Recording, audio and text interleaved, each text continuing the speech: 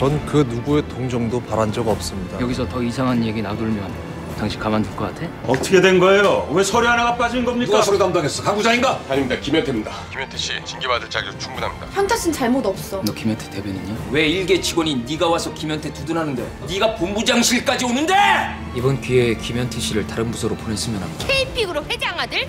여기 얘 혹시 회장님 아들 맞습니까?